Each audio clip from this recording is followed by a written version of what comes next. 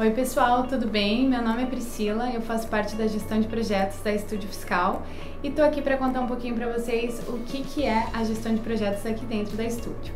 Então, a nossa área realiza todo o acompanhamento do trabalho desde o momento que ele entra aqui dentro da Estúdio até o momento da gente entregar esse benefício ao cliente. Ou seja, a gente faz todo esse acompanhamento em conjunto com todas as áreas: franchising, checklist, operação e financeiro é, é importante esse trabalho porque nós seguimos todos os prazos estabelecidos dentro do procedimento operacional padrão, garantindo sempre a eficácia e uma comunicação transparente com os nossos clientes.